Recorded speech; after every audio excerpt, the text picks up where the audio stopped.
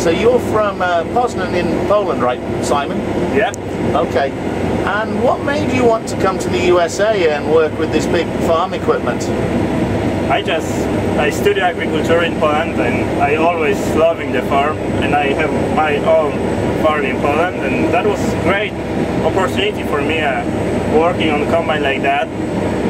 And uh, I meet uh, Greg Klensky from Poznan and he told me about this program and I just was thinking that it's something for me and I always would try find some job in America and I do it, yeah, I find and I can work here with other guy from different countries so I make I, I meet a, a lot new people, I make new contacts, yeah, so something like that, it's great for me. Yeah. Okay, and um, you're here with Rick Faris, and uh, tell the guys back in Poland about his equipment.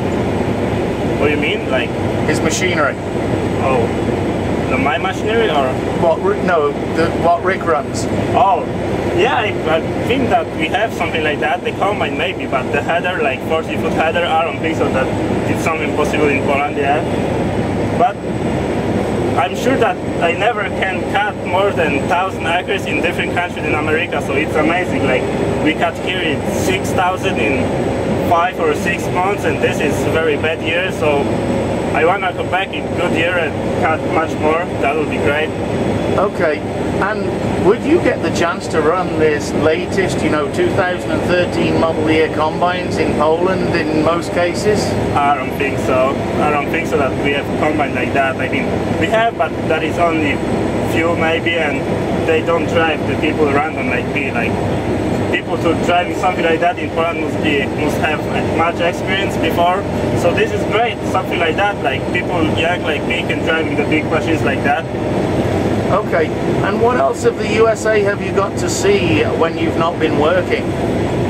We was in the Yellowstone Park, National Park, so that was great. And later in Glacier National Park in Montana, that was awesome too.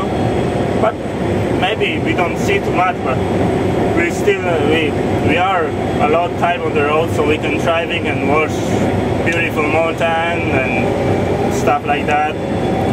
Okay, so if it's important you have some experience with farm machinery before you come here, correct? Yeah, but they they not machine like that. They, they are mostly old and much smaller than here. Yes, but you have to have an ability to drive it before you come to the USA, really, don't you? Yeah.